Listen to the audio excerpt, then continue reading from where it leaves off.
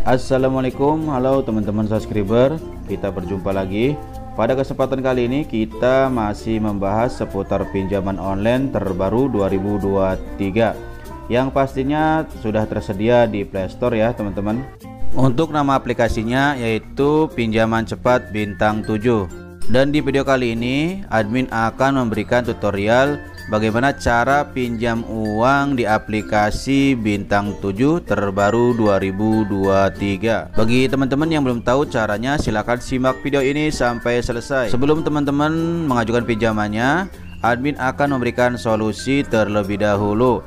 Yang pertama pastikan usia anda lebih dari 18 tahun, mempunyai KTP dan memiliki pekerjaan yang tetap dan pastinya data diri Anda masih bersih, belum tercoret di OJK agar kredit skor kalian tidak rendah.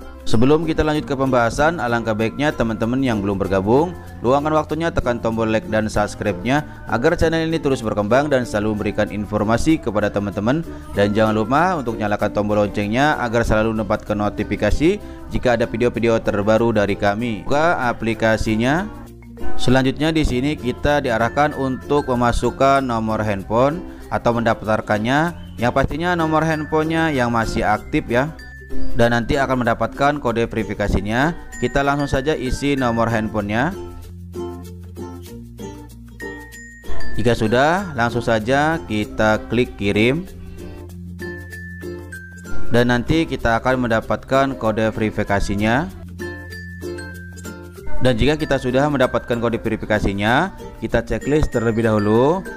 Setelah itu kita klik gabung dan selanjutnya tampilannya seperti ini. Di sini disediakan limit hingga 200 juta rupiah. Kita klik pinjam sekarang. Dan di langkah berikutnya kita diarahkan untuk mengisi atau mengupload foto KTP bagian depan sebanyak dua kali. Oke, kita upload foto KTP kita terlebih dahulu.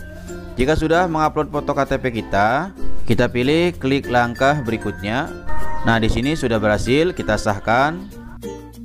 Dan untuk langkah selanjutnya di sini kita diminta untuk mengisi informasi pribadi seperti nama, nik KTP, alamat, jenis kelamin, pernikahan, tingkat pendidikan, alamat email dan juga informasi pekerjaan, kategori pekerjaan, nama unit kerja, alamat unit kerja, pendapatan bulanan dan juga pendapatan rumah tangga bulanan, dan yang terakhir yaitu mengisi informasi banknya.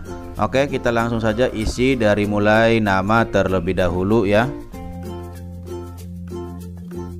Dan jika kita sudah mengisi nama, KTP, alamat, jenis kelamin, status pernikahan, tingkat pendidikan, informasi pekerjaan dan juga informasi kartu banknya.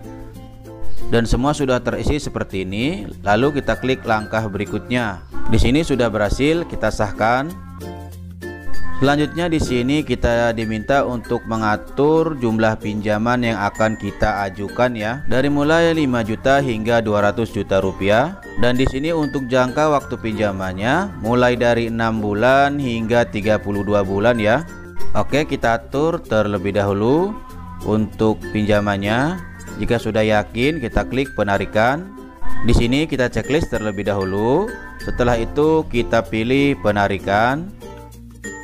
Nah, di langkah berikutnya di sini kita diminta untuk tanda tangan ya. Oke, kita tanda tangan terlebih dahulu. Jika sudah, kita klik kirim ya.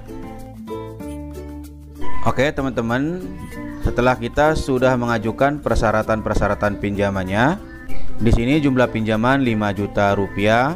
Kita cek terlebih dahulu, kita pilih di sini Akhirnya pinjaman sebesar 5 juta rupiah sedang diajukan atau sedang ditinjau ya teman-teman. Di sini kemajuan penarikan telah diajukan, mohon tunggu sekejap. Jadi kita tunggu satu kali 24 jam dan lambatnya tiga hari kerja ya teman-teman. Dan bagi kalian yang berminat untuk mengajukan pinjamannya, silahkan untuk mengajukan, semoga berhasil. Nah itulah cara pengajuan di aplikasi Bintang 7 Mudah Cair terbaru 2023. Terima kasih sudah menonton video ini. Mudah-mudahan bermanfaat. Assalamualaikum warahmatullahi wabarakatuh.